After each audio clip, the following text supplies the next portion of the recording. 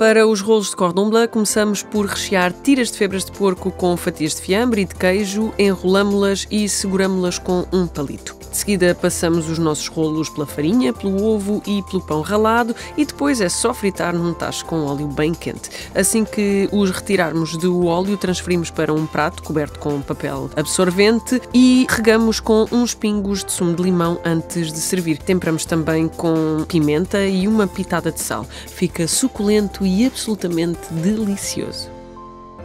Enfim, etc, etc, etc.